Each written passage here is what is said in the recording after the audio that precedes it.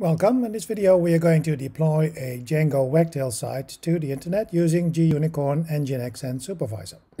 Previously we have cloned and installed our project on a server already. So let's have a look at the server. The user is user pet and this is the IP address of our server.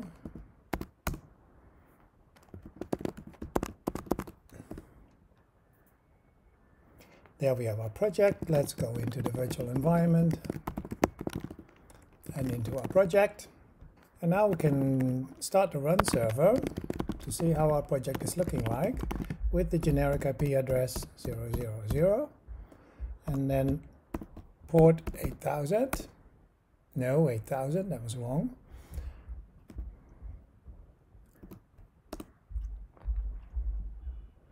And then go to our site and type in the IP address with this port and see if we can reach our site. Yes, everything is working okay, so that we know the site is okay. So now let's continue with installing gunicorn, and that is as simple as install gunicorn with pip. Now it's already installed. You can see, uh, I'll go to the gunicorn site. Let's have a look here. Uh, this is gunicorn and if you go to deploying then you can see you can install it in the virtual environment. And since we are using gunicorn to manage our Django application we did right. We did exactly that. Now to test that gunicorn is actually serving our site we can execute gunicorn and use the WSGI file within our project and bind gunicorn to this IP address that we just used on port 8000. Now it should be running. Let's have a look here. Let's reload this.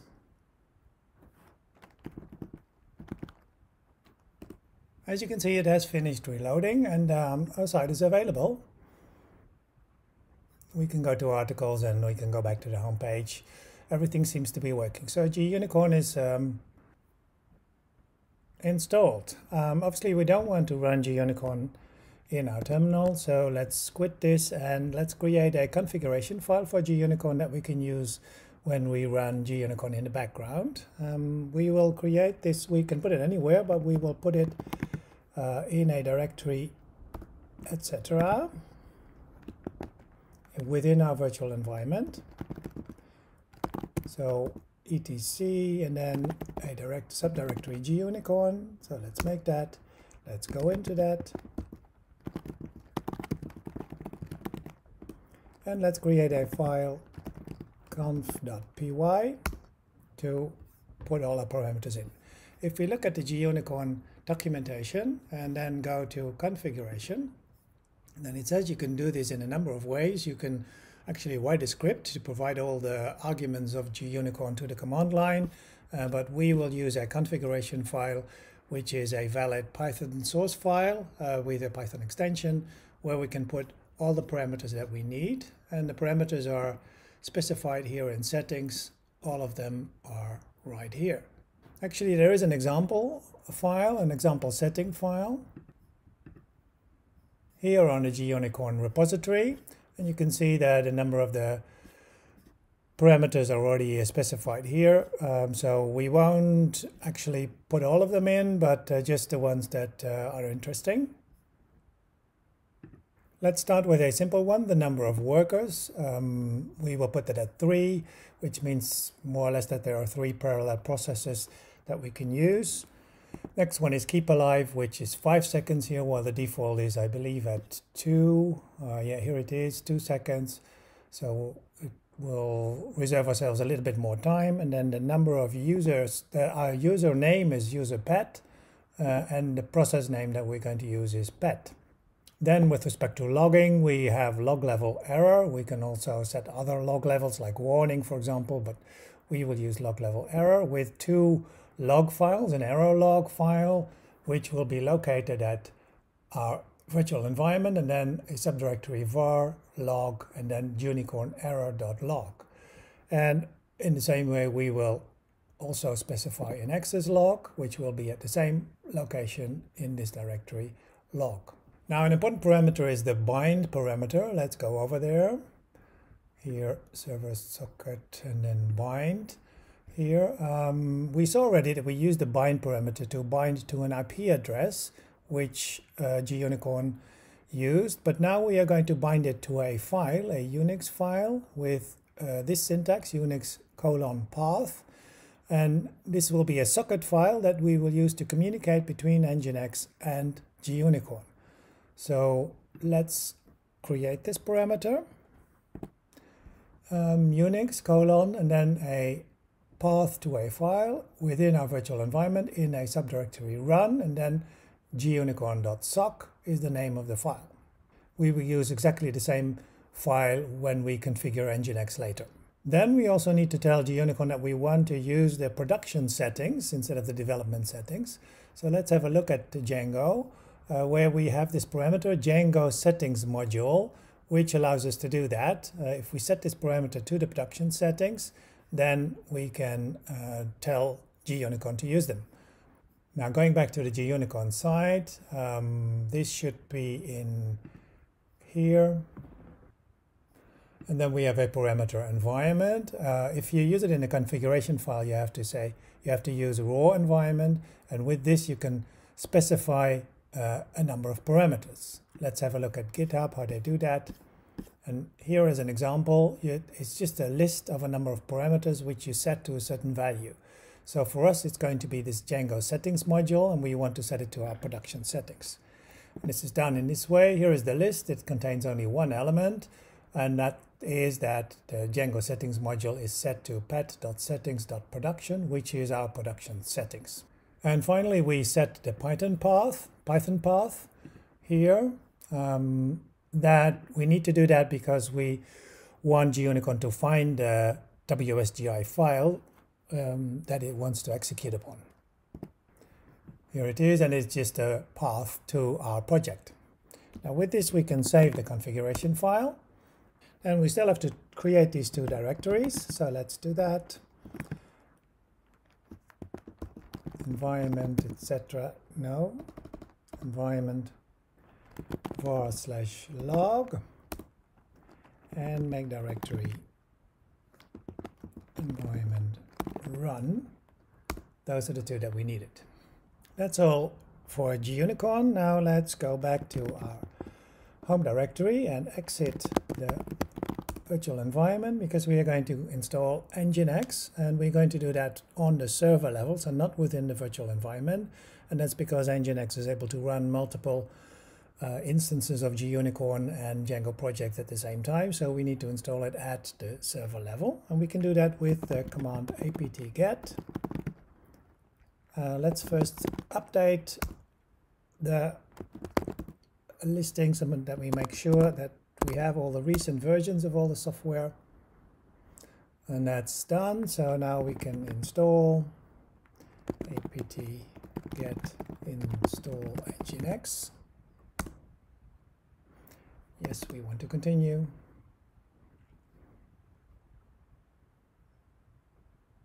That's done. Now let's look at the configuration. And the configuration is on the root level in the file, etc. And then a sub subdirectory nginx. Let's have a look. And here are all the parameters, the configuration files for nginx. You see that there is a configuration file with the main configuration here. There is another file proxy parameters that we're going to use as well. And then there are two subdirectories that are important for us if sites available and sites enabled. Now the way this will work is that we will create our configuration file in sites available and then copy it to sites enable, enabled to make sure that uh, Nginx picks it up from there. Let's have a look at this Nginx configuration file here to see how that works. Now if you look at it, then you can see that I think it is here. Yes, here it is. It includes the sites enabled files that are in there, uh, and it includes them in the configuration. So let's go to sites available.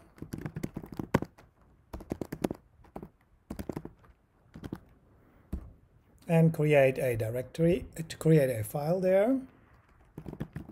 Now we have to use sudo because otherwise the um, file would not be created.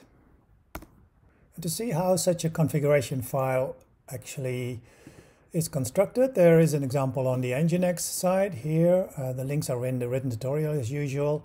Uh, but there's also a very good tutorial on DigitalOcean, and here it is, and it's called uh, How to Set Up Django with Postgres, Nginx, and Gunicorn. And here is an example of how to set that up. So what I'll do is just paste the content in and show you what all the different entries mean.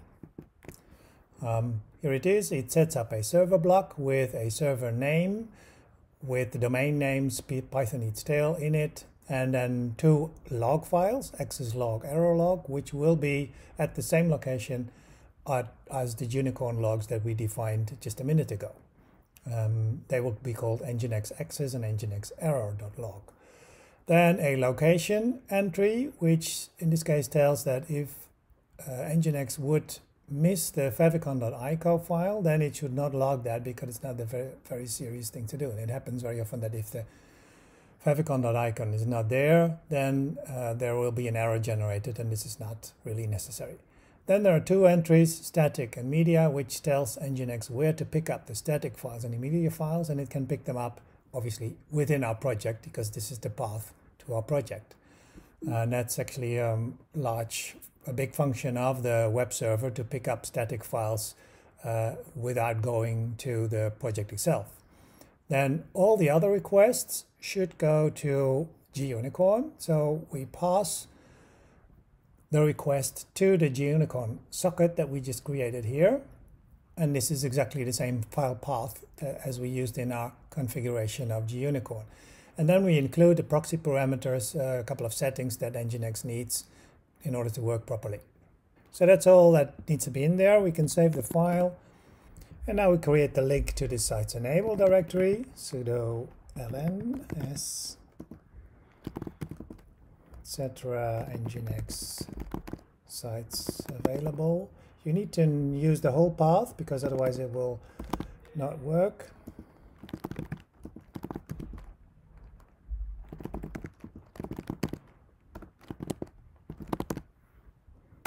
That should be okay. Let's check. And there is our configuration file. Now to test whether Nginx is working properly, we can use the slash t command and that tells us that the syntax is okay in the configuration file as well. Let's go back to our home directory, enter the virtual environment again. Whoa.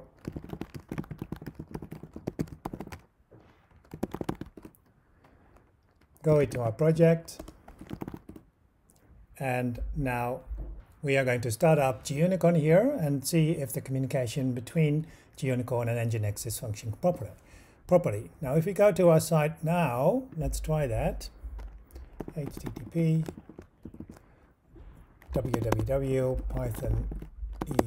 www.pythoneatstail.com then we see that we are arriving at Nginx, but obviously gUnicorn is not started yet. So uh, this is as far as we can get. Now let's start gUnicorn here.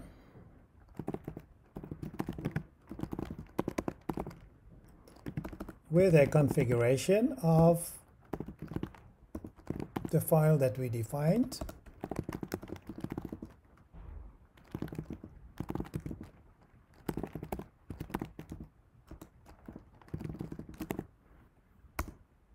Now it should be running and let's see if we if we refresh the page what will happen.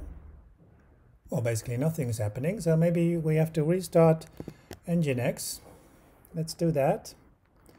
And we can do that by using the system control command.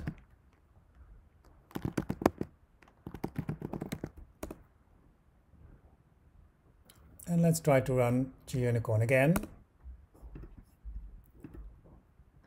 And then we are a step further, but we get a bad request.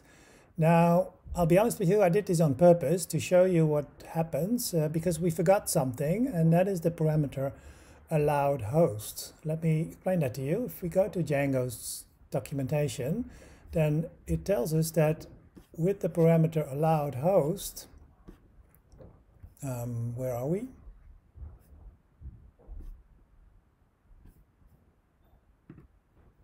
Here it is. This is the parameter allowed host. And if it is not set, then uh, it will be an empty list and then it will raise a suspicious operation exception. Uh, let's have a look at that. And then we can see that if this happens, then it will lead to a HTTP response, response bad request. And this is exactly what is happening. And so the problem is that we didn't set our allowed hosts uh, parameter, which needs to be set in a production environment when debug is false. Let's have a look at our development environment here and go to our settings. Here are the settings. Now, if you look at development, then you can see that allowed hosts is with a wildcard uh, set to basically any host which is allowed. And we don't want to do that in production, but in production we didn't set this parameter, so we need to include it there. So let's do that in our development environment by putting allowed hosts to our domain and saving this. Let's go out. Let's open a second terminal. New window.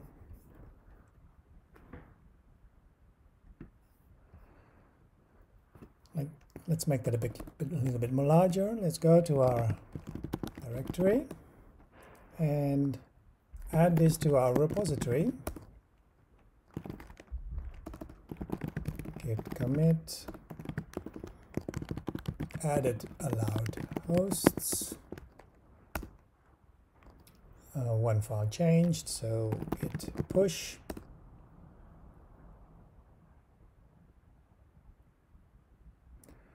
That seemed to work, so let's here stop the gunicorn for a second.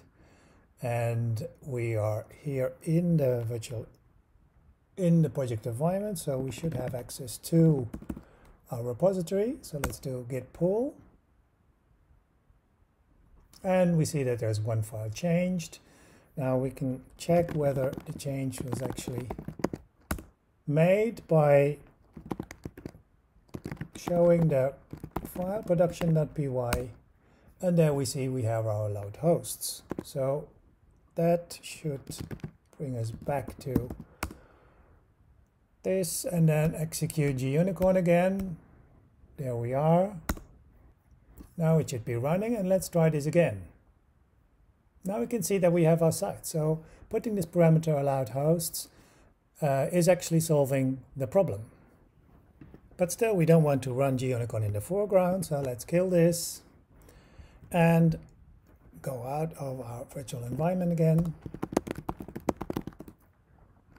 go to our home directory and install Supervisor, which is the tool that is going to manage both GUnicorn and Nginx. apt get install Supervisor. That should do it.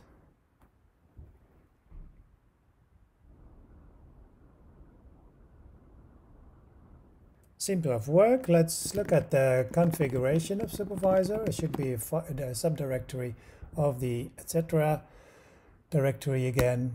So here we are and there we have the configuration of supervisor and let's have a look at that.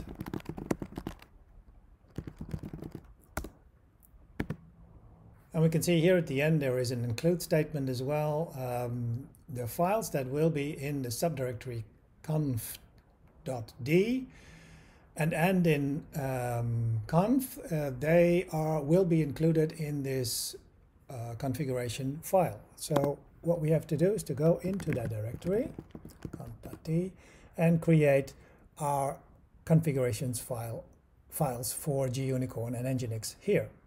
First one will be GUnicorn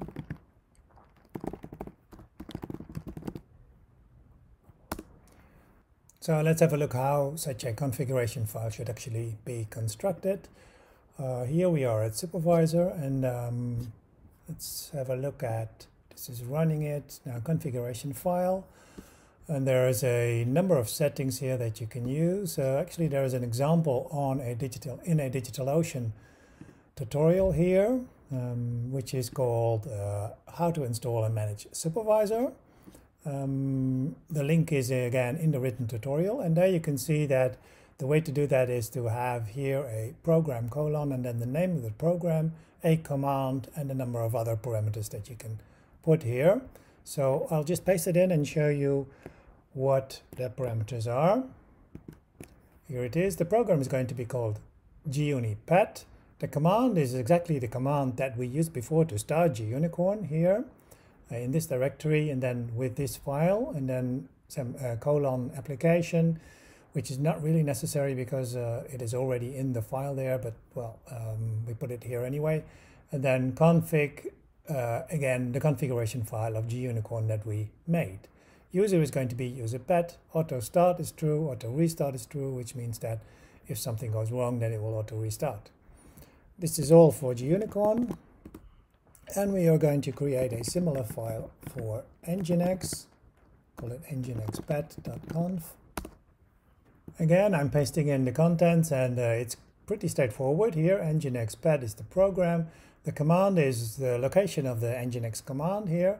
And then there is this parameter daemon off. Uh, you can look that up in the nginx documentation as well. This needs to be set because daemon off means that it is run in the foreground Normally Nginx is running in the background, as I already showed you. But now we want to run Nginx in the foreground because that's the way that supervisor works. It needs to run all the programs in the foreground so that it can manage them. Um, and then the parameters auto start, auto restart again, and we repeat the log files. We don't have a user because we have root user here because Nginx was installed by root user. So that's why we need that. And therefore we also repeat the log file so that we are sure that these are going to end up in the location that we want them to. So let's save this and that concludes the setup of supervisor. So let's first make sure that supervisor understands that we have new configuration and we do that by the reread command. Let me show that to you. Here is supervisor and then if you run it then there is the supervisor control client here, running supervisor control, which is the client of supervisor. And it has a number of commands. They're all listed here. Update is a command which reloads the configuration, but first we have to read the configuration, which is here, reload it, uh, the configuration files, and then after that we will do update, and then we can restart, start, stop, anything that we would like to do. Status here, stop the name of the process. So rereading is the first thing to do. And it tells us that both are both the processes are available. So now we will use supervisor control update. They are added to the configuration file and now we can we should be able to start both Nginx and Gunicorn with this command. Let's see if this worked. sudo supervisor control status. Whoa, that was a typing mistake. Sorry about that. sudo supervisor control status status. And we see that both of them are running, but this is strange because Nginx doesn't seem to be running okay. Let's have a look again. Now you see it's not starting. So there's something wrong here. Um, it might have to do, this sometimes happens, that the port is occupied and the way to solve this is killing the process at the port. Let's do that with a fuser command and then it will be at port 80 because that's the port that the internet uses. TCP kill the process. Now let's see how the supervisor is doing at the moment. Now it seems to go a bit better because we're already nine seconds there. Let's try it again. 16 seconds. Now it seems to be running okay. So then an exciting moment. Let's go to our site and see if everything is working Seems to be okay. Let's go to themes, custom user model. Yeah, that's seems to be running okay. The only thing is that here you can see, and also here at the bottom, um, some of the static settings are not uh, taken over, and that's because we need to collect them. at static and at media. And we can do that by going back to the uh, virtual environment. Let's start that up. Into our project and then running python 3 manage.py collect static. And this actually copied 631 static files to the static directory. Now let's reload this. And now you can see that it is picked up. And also we have a nice footer. So that is um, working. So our site is up and running and uh, that's it for now. We'll, next time we'll do some more things like, for example, adding SSH, uh, HTTPS, and uh, some more interesting things. See you next time.